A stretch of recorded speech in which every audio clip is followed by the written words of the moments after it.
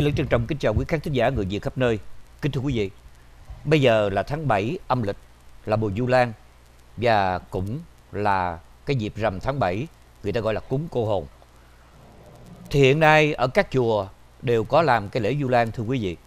À, tuy nhiên, à, chúng tôi mới vừa được cái tin là chùa Dược sư Dạng Phật ở tại Seattle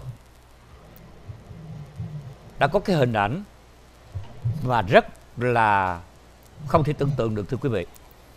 Ở đây là không có gọi là cúng cô hồn cho những cái người mà quan khuất đã chết mà ở đây lại đưa ra 11 cái linh vị để gọi là triệu thỉnh vong linh của 11 vị mà 11 vị này là những vị đã còn sống và đó là những người Việt quốc gia à, chúng tôi có thể kể tên giống như là anh Bùi Phú Bùi Quốc Hùng Quốc Nam à, Trần Danh Phan Rang, Nguyễn Lâm Sơn, Trần Bá Hạnh, Lê Thái, Dương Linh, Trần Minh, Nguyễn Thị Thanh Dân tại sao có sự việc này? Bởi vì trong cái điều mà họ đặt cái linh vị đó, họ có những cái lời nguyền như thế này, là nguyền 27 đời vong linh siêu mồ lạc mã, động mồ động mã, chưa siêu thoát của dòng họ, những người đó. Và thưa quý vị, đây là một cái việc làm chúng tôi cảm thấy rất là bất nhẫn khi với cái tính cách của Phật giáo là dị tha, nhưng ở đây rõ ràng là cái sự trù ếm cái điều lên án với những người mà ngay lưỡi vừa đọc tên là 11 vị, thì bị quy vào cái tội là tham gia quấy rối nơi yên tịnh. Sự việc này tại Siro diễn ra như thế nào? Chúng tôi mời quý vị nghe cuộc nói chuyện giữa ngây Lữ và nhà làm truyền thông anh Quốc Nam ở Siro cũng là một trong 11 nạn nhân đó. À, thưa anh, à, trước hết nghe Lữ chào anh Quốc Nam, thưa anh, anh có thể kể rằng việc gì mà chùa dược, dược sư dạng Phật này à, đã có những cái linh dị đó và có những cái lời nguyền rủa như vậy thưa anh? Mời anh.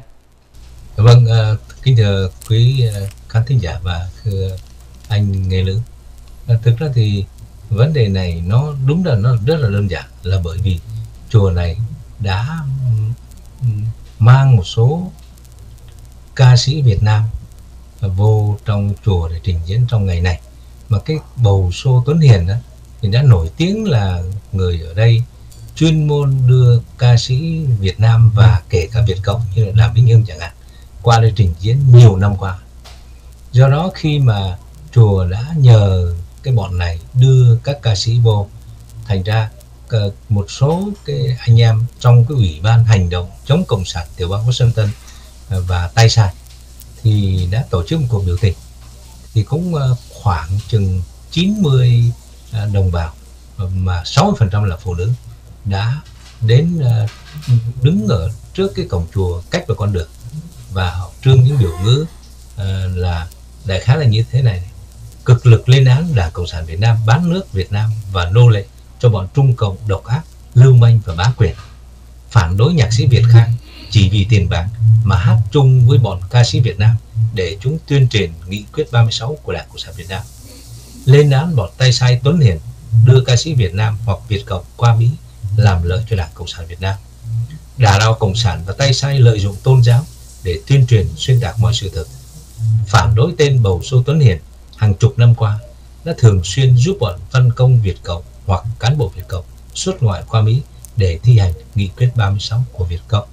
Thì cuộc biểu tình rất là ôn hòa và trật tự bởi vì đứng đầu cái buộc này là hai vị thiếu tá tức là Hải quân thiếu tá Trần Bại và thiếu tá Nguyễn Thị Vân cùng với cựu trung úy uh, Nguyễn Lam Sơn thì uh, ba cái cựu quân nhân uh, quân lực Việt Nam Cộng Hòa đã uh, hướng dẫn cuộc biểu tình này và trong đó có cả chúng tôi là nhà truyền thông quốc nạp vâng thưa quý vị và khi biểu tình như vậy thì hoàn toàn nên là kêu bằng bất bạo động và không có cái chuyện gì xảy ra cả. Nhưng mà bất ngờ nghĩa là uh, lúc tức là cái buổi đó biểu tình bắt đầu từ 11 giờ 10 phút sáng uh, thứ năm ngày 23 tháng 8 năm 2018 biểu tình trước cái uh, xin lỗi quý vị thứ sáu ạ. Uh, biểu tình trước uh, đó là lúc 11 giờ 10 phút thứ sáu ngày 23 tháng 8 năm 2018 thì uh, đột nhiên như là có một số phụ nữ nhảy ra à, và trong đó có hai phụ nữ rất hung hăng, chỉ vào đoàn biểu tình như là chửi bới rất thô tục. Mà bên đoàn biểu tình thì người ta nói rằng nghĩa là một cô cô thi mỹ, thì cô nói rằng chúng tôi đến đây biểu tình không phải là biểu tình à, chống chùa hay chống bất cứ ai hết mà chúng tôi chống bọn văn công việt công vào chùa để mà trình diễn văn nghệ trong ngày lễ Vu Lan này. Nhưng mà họ họ vẫn như là rồi cuối cùng rồi tới cái lúc mà chừng uh, nửa tiếng sau thì họ mang uh, tới nhiều cái bài vị và những cái bảng rất là lớn. Mà trong đó đó thì uh, như quý biết họ triệu thị những uh, những người còn sống để mà uh, nguyền rủa những người đó. Nghĩa là 27 đời của người đó. Nên là một cách rất là những cái lời lẽ rất là ác độc tàn độc. Và chúng tôi không nghĩ là một cái cơ sở Phật giáo mà đứng đầu bởi ông thượng tọa thích đồng trung lại có cái hành động ngược lại giáo lý Phật giáo như vậy. Thành ra chúng tôi như là lúc đó thì chúng tôi không có phản đối gì hết. Về thì chúng tôi bắt đầu chúng tôi nhìn rõ cái cái bảng. Lúc đó thì gần đứng ở bên này thành chúng tôi nhìn cái bảng mà ờ, tế tế sống người chúng tôi ấy, thì chúng tôi không rõ lắm. Thành chúng tôi chưa phản ứng được. Về nhà chúng tôi nhìn ra thì lúc đó các cái phật tử không phải là không phải là là những người biểu tình những người phật tử như chùa vạn hạnh hay các chùa khác họ đều nghĩa là chỉ phản đối nặng nề ông thích trọng trụ này. Không thể một tu sĩ phật giáo mà có thể ác độc như vậy. Mà trong cái này thì ngay cái đầu đấy là anh linh có nói rồi. Nhưng mà thực ra thì nó còn ác độc hơn nhiều. À, thưa quý vị cái đó đề là triệu thỉnh chư hương linh phan giang nguyễn lam sơn lê thái trần ba hạnh quốc nam trần danh trần minh bùi phú bùi quốc hùng nguyễn thị ngọc cẩm nguyễn thị thanh vân. 27 đời dòng họ của những âm linh hoặc còn sống hoặc đã chết tham gia quấy rối nơi thanh tịnh. Tất cả phải gấp rút vân tập về chùa dược sư vạn phật để thỉnh pháp văn văn kinh siêu sanh tịnh độ. Nếu không nghe lời triệu thỉnh hoặc nửa đường trốn tránh chạy lui trễ nải đầu thai khó sanh tịnh độ chịu uh, khổ địa ngục hoa tỷ không những vậy là còn theo pháp lệnh mà trị tội. Ghi chú văn triệu thỉnh này sẽ chiêu hồn hàng đêm mỗi khi tụng kinh cho đến ngày trần tế âm linh cô hồn vía Phật Dược Sư vào ngày 3 tháng 11 năm 2018 mới đến. Thưa quý vị, ông ờ, này ông ấy nói rằng nghĩa là sẽ tụng Phật ờ, niệm ờ, niệm Phật để mà nghĩa là giống như nguyền rủa những người này. Tôi thấy niệm Phật để cầu nguyện chứ đâu niệm Phật để mà làm những đỏ ác như vậy thưa anh người lớn. Dạ vâng, à, thưa với lại nhà báo Quốc Nam thì cái sự việc nó để xảy ra như vậy thì tất cả 11 người đã bị niêm yết đã làm thành linh vị để ở trong cái ngôi chùa dược sư đó. Thì quý vị có ai cử đại diện đến làm việc với lại sư trụ trì ở đây chưa? À, dạ vâng, à, có ngay là gia đình à, của Lê Thái là người mà làm cái siêu tôn TV ở đây. Thì à, bà vợ ông Lê Thái đã mời đã, đã mời à, cảnh sát tới lập biên bản. Và cảnh sát đó, thì mãi tới 3 tiếng đồng hồ sau mới tới lập biên bản vào cái ngày à, hôm đó là ngày thứ ờ, ngày kế ngày đó ngày thứ bảy tức là ngày 24 tháng 8 năm 2018 thì à, ngày 25 chứ ngày 25 tháng 8 năm 2018 thì cảnh sát đã lập biên bản hết. Và cảnh sát dường như là trong tuần vừa rồi trong cái ngày thứ hai ấy, thì cảnh sát đã tới để mà ờ, phỏng vấn uh, tức là để mà lập biên bản với ông thầy chùa biên bản thì có rồi có cái kê rồi. Thì bây giờ thì những 11 ngày này sẽ có những phiên họp vào ngày chủ nhật này để quyết định uh, truy tố uh, cái chùa dược sư đã làm cái chuyện đó ra trước pháp luật để pháp luật xử xử uh, thưa quý vị thính giả và dạ vâng thưa, thưa anh như vậy thì về phần á, người sư trụ trì tức là ông thích đồng trung này đó à, ông đã có tiếp xúc với những nạn nhân này chưa? Và ông có những cái phát biểu gì, thưa ông? Dạ không, ông không hề tiếp xúc với các nạn nhân. Nhưng mà ông mới đổ tội là cái đó là một số phật tử làm chứ không phải ông làm. Nếu một số phật tử làm á, thì ông phải biết ngay là bởi vì cái, những cái bài vị và những cái lời nguyền rủa này đã trưng ở trước, ngay trước chùa ngay ở tường các ngôi chùa trong 4 ngày liên tiếp.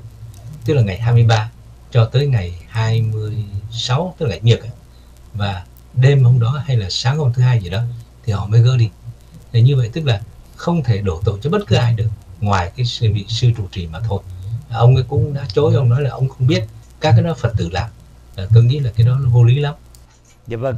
Ờ, thưa anh thì ờ, với tư cách là một nhà báo đặc biệt là một nhà báo có tinh thần quốc gia trước cái sự xâm nhập của Phật giáo quốc doanh ra hải ngoại và hiện nay đó một cái vấn đề rất là độc ác trong cái mùa tháng 7 này khi cái chùa Dược Sư tại Sido Đô đã làm những cái hành động đó thì với tư cách là một nhà báo anh có điều gì để muốn nói với lại cộng đồng người Việt tị nạn cộng sản ở khắp nơi về cái hiện tình Phật giáo?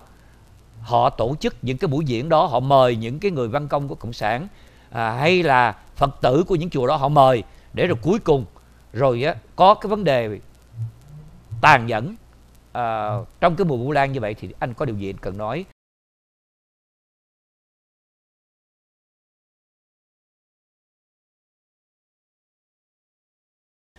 Có khó khăn hay không khi mà chúng ta đấu tranh với lại những cái việc làm sai trái mà nằm trong khuôn viên của các chùa các nhà thờ thưa anh? À, kính thưa quý vị khán giả đã từ lâu rồi chúng tôi là người mà làm ngành truyền thông này được 57 năm rồi tức là chúng tôi là người cũng đã già rồi chúng tôi làm truyền thông và cầm bút kiếm sống liên tục từ ngày đó đến ngày hôm nay được 57 năm rồi thành chúng tôi có theo dõi rất là kỹ nhất là vấn đề tôn giáo đó. thì phần lớn đó, những cái việc mà xảy ra trong nhà thờ và chùa đó, thì ít có ai dám đụng tới lắm không? và uh, cái cái vụ này á, thì nó là một cái vụ mà chúng tôi vô cùng kinh ngạc là tại vì không thể tưởng tượng được một người mà uh, tu sĩ Phật giáo mà ờ, Đức Phật dạy từ bi hỷ xả mà lại lấy là họ thích đấy, thích đồng trung. Thì như vậy tôi nghĩ là cái này làm nghĩa là sỉ nhục cho đạo Phật và và ngay cả Đức Thích Ca Mâu Ni nữa Đức Phật thì cũng không thể tha thứ được cái hành động của một vị tu lấy họ thích mà lại làm hành động tàn độc như vậy. Và chúng tôi coi là hành động này nó với với luân lý Á Đông mình coi đó là một cái loại mà vô giáo dục vô luôn và không thể chấp nhận được một người bình thường chứ đừng nói là một tu sĩ mà xưng là thức tọa. Thực ra thì ông này á ông ấy đi tu ờ, là đại đức ở cái ngôi chùa lớn ở đây đó là chùa Cổ Lâm cách đây mười mấy năm. Thì ông ấy vô đó không ông ấy gây gỗ nhiều chuyện và ông đã được nghĩa là uh, được ở uh, ờ, cái ngôi chùa đó ưu ái cho ông ấy tu ở đó. Nhưng mà sau đó đó thì vì không chịu đựng nổi những cái cái mà cái hành động kỳ cục của ông ta thì hòa thượng thích viên an và hội đồng quản trị chùa Quảng Ngông đã đuổi ông ra khỏi chùa đó. Thì ông ấy uh, ông ấy uh, quyến rũ một số phật tử đi theo ông ấy để mua một khu đất và lập một ngôi chùa trong đến mười mấy năm nay. Và ngôi chùa đó, đó được coi là cũng cũng chỉ có thua chùa của Lâm thôi cũng đồ sộ lắm. Nhưng mà Ờ, và cái cách hành xử của ông ta đó thì nó nó không có giống cái người mà, những người lương thiện. Từ trước giờ chứ không phải mới đây. Và nhiều người đã oán trách ông ấy. Ngay cả có những người đàn ông cũng đã tới để chùa để xỉ vả vào ngôi chùa đó là đã tán tỉnh vợ con người ta. Và tuy nhiên cái chuyện đó là chuyện mà tôi nghĩ là tôi không muốn đề cập tới ở đây. Mà chỉ đề cập là cái hành động tàn độc, tàn nhẫn để mà để mà truy cứu để mà nguyền rủa những người người chiến sĩ quốc gia, những người chống cộng là 27 đời của họ. Thì tôi thấy chưa bao giờ có chuyện đó xảy ra cả. Và đây cũng là một cái thông điệp đầu tiên mà những người cựu chiến binh chúng tôi chúng tôi là những những chiến sĩ của lực lượng nam cộng để muốn gửi tới khắp nơi rằng các chùa hay là các nhà thờ, nếu mà các ông đón tiếp các văn công Việt Cộng hay là làm cái gì lợi cho Việt Cộng, chúng ta vẫn phải phản ứng và phản ứng quyết liệt và đây là một cái thí điểm đầu tiên mà chúng tôi là muốn làm ở đây với những người thực tình chống cộng và hết lòng đối với quốc gia dân tộc. Và ngay bản thân tôi cũng là một người đã chiến đấu và đã bị thương chết ngoài mặt trận hai lần. Và cuối cùng thì chúng tôi thoát ra được đây vào giờ thứ 25 của chế độ Nam Cộng Hòa. Chúng tôi đến Mỹ vào tháng 9 năm 1975 đó quý vị.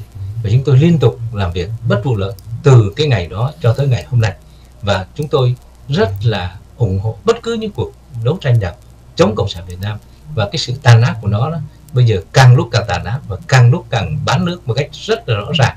Và chúng tôi cầu mong cho nếu mà Đức Phật nhận lời thì xin giúp cho Việt Nam được ờ, tự do dân chủ trong một ngày không xa. Còn những kẻ mà um, như là thích trọng trung thì chúng ta phải có thái độ quyết liệt và các chùa khác hay là các nhà thờ hay là các uh, thánh thất vân vân thì quý đồng bào thấy có việc có có văn công thì quý vị phản ứng quyết liệt ngay không đừng có sợ gì hết á chúng ta phải làm mạng sống chúng ta còn còn không tiếc mà làm sao mà tiếc được những kẻ mà cộng sản qua đây múa may quay cuồng ờ, thưa quý vị khán thính giả và thưa anh Lê Lương. Dạ vâng. À, thưa anh, chỉ trở lại cái uh, cái việc đã xảy ra. Cho phép nghi lữ hỏi là cái buổi trình diễn văn nghệ đó được chùa đó tổ chức vào ngày nào, mục đích để làm gì và gồm có những ca sĩ nào mà các anh cho rằng là thực hiện quyết 36 của Cộng sản. Anh có thể cho mọi người biết không ạ? Cái trước hết á, thì cái người bầu show đó thì từ xưa ở đây ở đây ai cũng biết rồi thường thường ma ca sĩ Việt Nam mà qua đây mà tất cả những cái ca sĩ trình diễn trong đó, đó thì đều là ca sĩ Việt Nam qua hết đó. Anh đó. có thể kể tên không anh? Tôi nghĩ là ở trên một cái đằng sau lưng tụi tôi này, đây là cái poster này. mà bây giờ thì chúng tôi có thể nhìn trở lại chúng tôi mới đọc được. Dạ vâng. Cái, cái tên nó nhỏ lắm nhưng mà chỉ có biết là có một người mà ai cũng biết đó, đó là ông Minh Cảnh Minh Cảnh ở Việt Nam tức là ông uh, ca cải lương á rồi rồi cũng nhiều lắm mà trong đó như mà cũng cũng như là uh, Nguyên Khang á, thì cũng là người mà lấy vợ Việt Nam và cũng đã uh, từng ca ngợi Việt Cộng ở trong nước rồi rồi còn nhưng mà nếu chúng đưa cái Việt Khang về đây để mà quyên tiền thì tôi nghĩ là cái chuyện này là chuyện mà nó đốt cháy Việt Khang trong cái chương trình mà của văn công Việt Cộng trình diễn. Nó đưa Việt Khang tới để mà uh, coi là cái là chùa dược sư mà vạn Phật mà lại làm một cái lễ hội. Thường thường á, ở đây á, là đón rước Phật Ngọc á, thì thường thường các chùa đón một lần thôi hay là hai lần thôi. Đằng này á, đón tiếp tới ba lần rồi. Và thường thường đó à, ở Việt Nam gửi qua những cái tượng Phật Ngọc như nhỏ đó để bán mỗi cái một hai trăm gì đó. Thì ông này ông quyên tiền liên tục như vậy. Thì uh, như vậy tức là cái buổi đó mục đích là để quyên tiền. Nhưng mà cái mục đích là là họ đưa văn công về đây. Mà có ai dám phản đối không? Thường thường là không ai dám phản đối cả. Cũng may là trong chúng tôi có những anh em cựu quân nhân rất là quyết liệt. Chả này chúng tôi nghĩ là cái người chống cộng mà tôi nghĩ quyết liệt. Ghê gớm đó, đó là hải quân thiếu tá trần bạch trước làm ờ, bộ tư lệnh hải quân này. Vâng, và, và nghĩa là những người như chúng tôi những người góp máu bảo vệ quê hương chúng tôi không thể để mà nhìn một cái ờ, tôn giáo mà muốn làm tầm bậy. Thì bắt buộc chúng tôi phản đối nhất là ờ, đưa cái văn công vô uh, chùa. Cái vấn đề tôi hỏi anh chưa có nói cho rõ đó là mục đích của cái buổi diễn đó đó là mục đích là cái gì để gây quỹ xây dựng chùa hay là mục đích như thế nào và ngoài Minh Cảnh, Nguyên Khang, Việt Khang thì còn có những ca sĩ nào mà anh các anh cho rằng từ trong nước ra qua? Những cái người này đều là những người vô danh ở hải ngoại. Thành ra phần lớn là là là Việt Nam qua nó rất là lạ. Ờ, là lạ nhưng mà những người chẳng như là nổi tiếng như là Minh Cảnh thì mình biết rồi từ xưa giờ tức là ở Việt Nam lâu rồi. Nhưng mà còn những người khác á, thì kể ra thì nó tràn đông lắm. Thì đây thưa quý vị đây là cái cái tấm này là chúng tôi có trương ở trên Facebook rồi rồi quý vị có thể mở dạ Facebook vâng. để quý vị coi dạ vâng. à, thưa anh thì à, cái buổi văn nghệ đó nhằm mục đích gì thưa với anh Quốc Nam à vâng thì nhằm mục đích là thứ nhất là để quyên tiền à, quyên tiền làm gì thì cái đó mình không biết là tại vì chùa làm xong rồi thì bây giờ thì à, với cái, cái lễ vu lan đó à, để mà làm cái điều này nhưng mà tôi nghĩ là đây là một cái cái hành động đầu tiên mà văn công vô một cái chùa. Không biết nơi khác như thế nào, giờ đây đầu tiên. Và cũng là đầu tiên của biểu tình mà biểu tình trước một ngôi chùa. Mặc dù không phải là chống ngôi chùa, nhưng mà chống cái bọn văn công tới mà thôi. Đặc biệt ờ, cái bầu số tuấn hiền là đây đã đưa rất nhiều ca sĩ Việt Cộng qua đây rồi. Trong đó có Đàm Vĩnh Hưng qua đây cả chục lần. Dạ vâng thưa anh ờ, hồi nãy anh vừa nhắc đến đó là có hai người ờ, ca sĩ mà người Việt hay ngoài chúng ta cũng rất là quý mến. Đó là Nguyên Khang và Việt Khang.